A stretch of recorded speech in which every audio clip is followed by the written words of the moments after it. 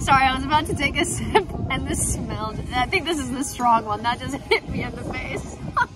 We're Matteo and Misha. We are currently pursuing our goal of pulling off the ultimate Italian road trip, traveling to all 20 regions of Italy. And we've started off in Sicily. In our last episode, we took on the unpredictable weather of Sicily in October as we visited the seaside towns of Scopello, San Vito lo Capo, and Castellammare del Golfo. Today, we continue our journey on the windiest side of Sicily, famous for their expansive salt pans, strong wines, and ancient traditions. We explore what makes Marsala such a special place.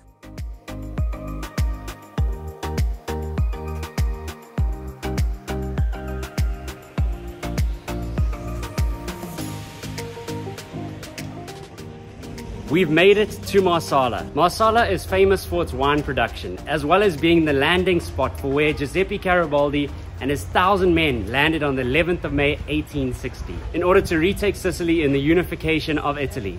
We weren't too sure what to expect when coming to Marsala. It feels very small and cozy, and it just has a really lovely vibe. We thought it was gonna storm today, but the sun has come out and the sky is blue.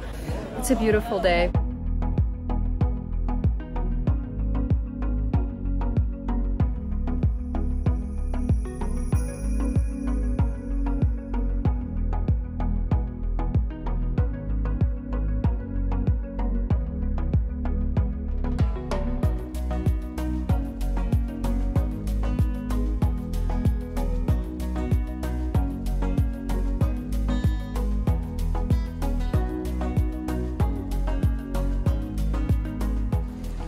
Matteo and I's preferred method of meals is getting a takeaway and usually finding a cute place to eat it. It was only six bucks for these two paninis and a bottle of water and they taste delicious. This place is really good. We thought it was gonna be expensive because it was right in the center of town, but these are huge. This is only half of it and it was two bucks.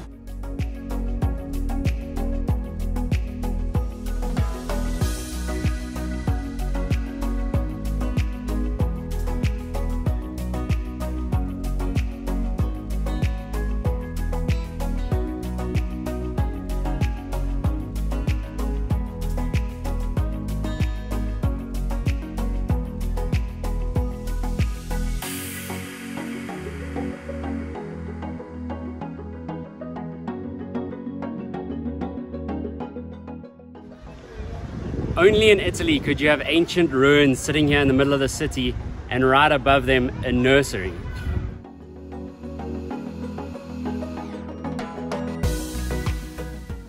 I'll give it to Marsala. This town here in Italy seems to be the one with the most children I've ever seen. Earlier, some guy laughed and told us that it's because there is a lack of TV. You go, Glen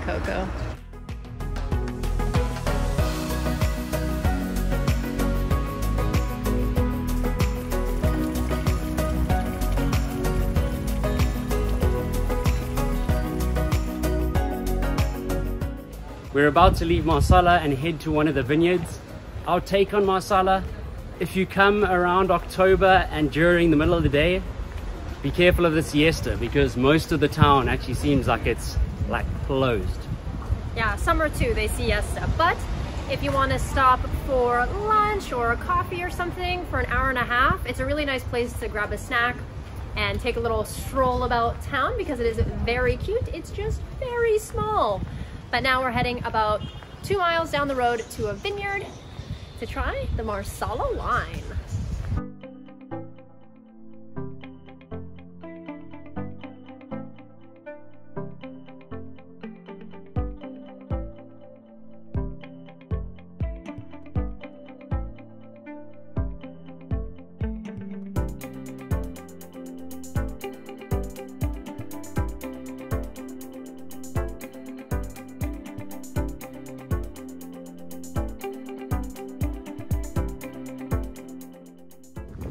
After searching for the vineyard that seems to be closed and you have to book tours and that which we didn't kind of prepare for, we finally have arrived at the Marsala Salt Flats. And unsurprisingly, smells like salt, but it's awesome. They have these giant windmills these huge domes of sand. Salt. Salt. it's just a really cool landscape.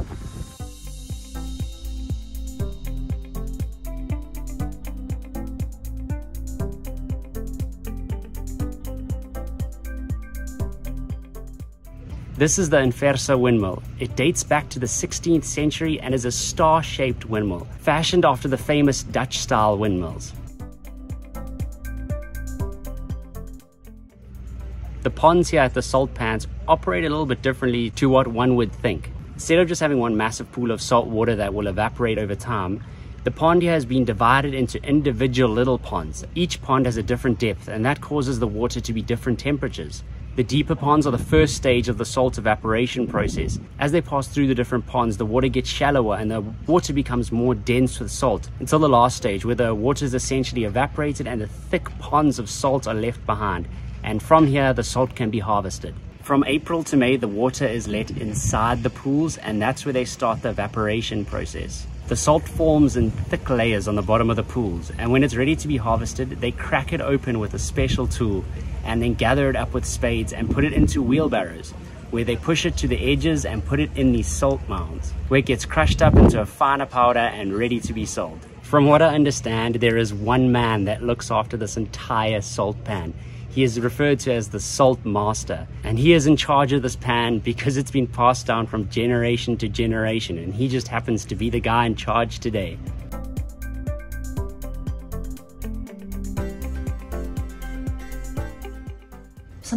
Interesting is that the windmills and the mechanisms in them are mostly made out of wood, not metal, because if they were made out of metal, the salt would rust them and break them down a lot faster. When you come inside the windmill, you can go up this set of stairs and come to the second floor to get a view, so I'm really excited to see what it looks like.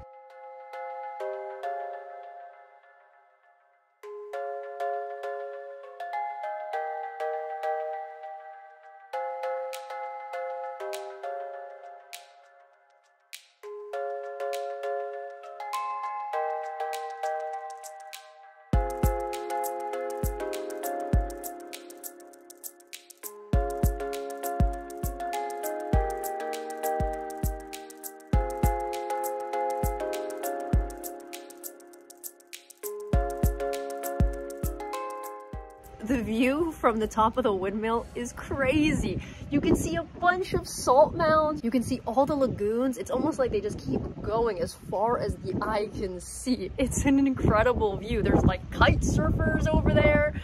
It's awesome. And you're right under the windmill. This thing is massive. Next to the salt mounds behind me, you can see a whole stack of roof tiles.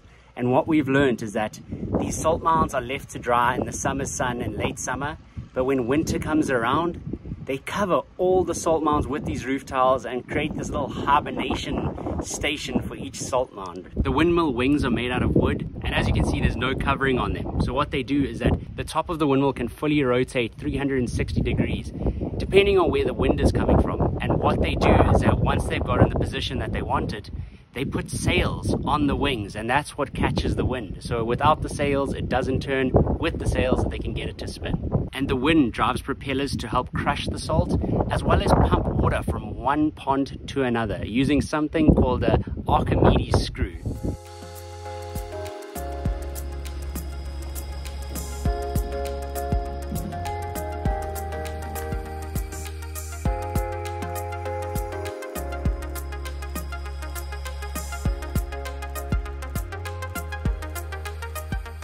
So we tried to go to one of the wineries earlier to try the Marsala wine, but we didn't know you had to book a tour, so unfortunately we weren't able to do it there.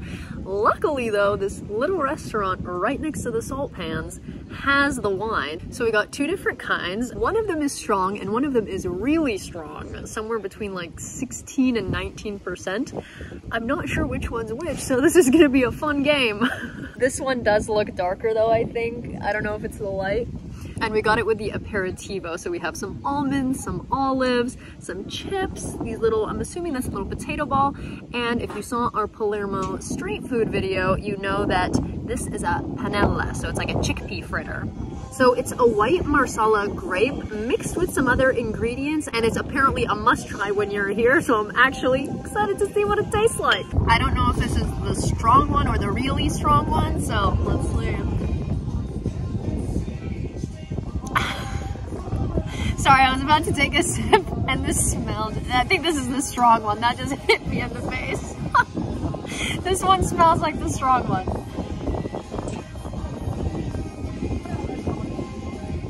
Not gonna lie, kinda tastes like hard liquor. I'm really scared if this isn't the strong one.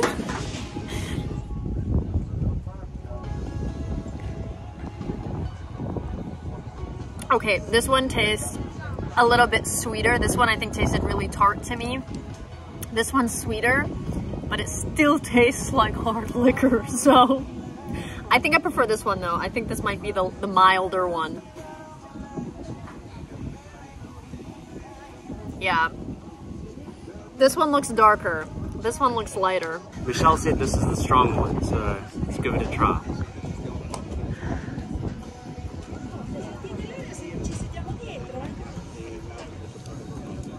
Wow, that is hectic. It's like a, it is, it's like having a rum shot, but like half the potency, mixed with a bit of wine. It's actually really good though, I kind of like it. It's so weird. Good, but weird. Next one.